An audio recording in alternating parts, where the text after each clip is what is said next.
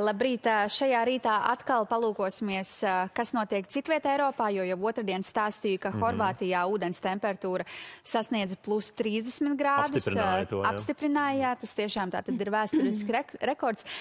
Turpat Serbijā ir pilnībā izžuvis kāds salsazers un Ir parasti bijis ierasts, jā, ka vasarā tur ūdens līmenis pazeminās, bet šādi, ka ezerā no ūdens nav ne ziņas, ne viņas ir pirmo reizi.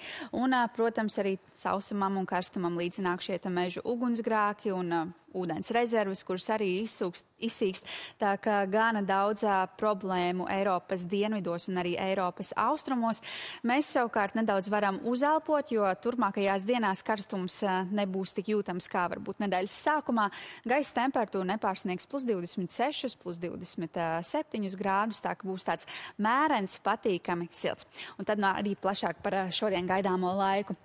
Šodien mākoņi dažviet atnesīs īslaicīgu lietu, rīts ir gana silts un dienas laikā gaisa temperatūra vēl turpinās paaugstināties.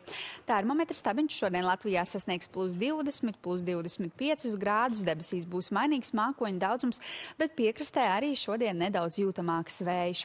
Rīgā diena aizritēs bez būtiskiem nokrišņiem, pa laikam debesis aizklās kāds mākonis, bet gaisa iesils līdz plus 24, plus 25 grādiem.